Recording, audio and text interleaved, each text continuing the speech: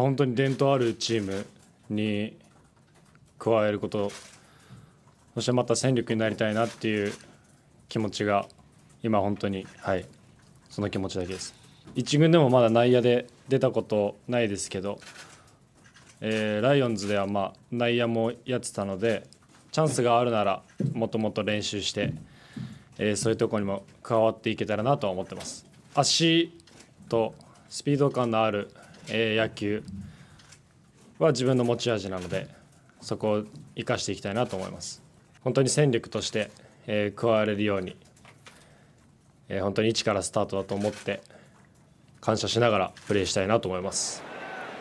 あ佐々木ではなく西武から交換トレードの若林がバッターは戸郷に代わりまして若林。松原聖也と、まあ、交換トレードジャイアンツに移籍してきました若林学人が代打としてこの場面で送られました。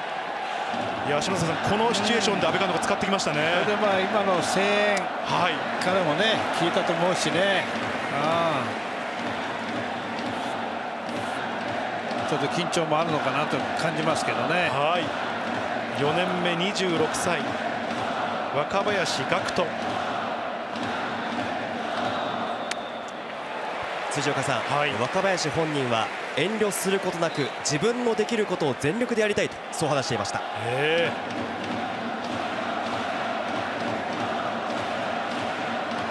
今日一軍昇格、まあ、イースタンリーグでも昨日、おとといと出場はありましたがこの一軍東京ドームの舞台はジャイアンツの選手としては初めてです。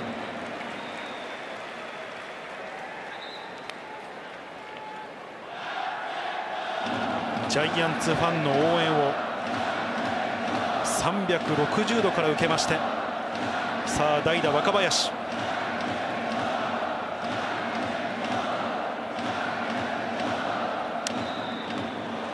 食らいついていきます。今のがストレート。